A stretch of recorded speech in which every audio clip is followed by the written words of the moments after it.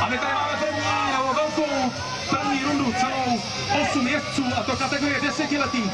Jdeme se podívat, kdo to bude. Jakub Vesecký zatím drží jasně první pozici. Většinou ten první jezdec je takový ten z nejsmutnějších, protože mu to nedá na velký finále, ale aspoň si spraví chuť v tom finále malým, nebo v tomhle případě finále B, o 9. a 16. místo.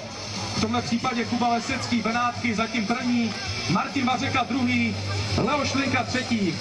Takže to jsou první tři jezdci v kategorii desetiletí v finále B. Jdeme do cíle a koukneme na výjezd.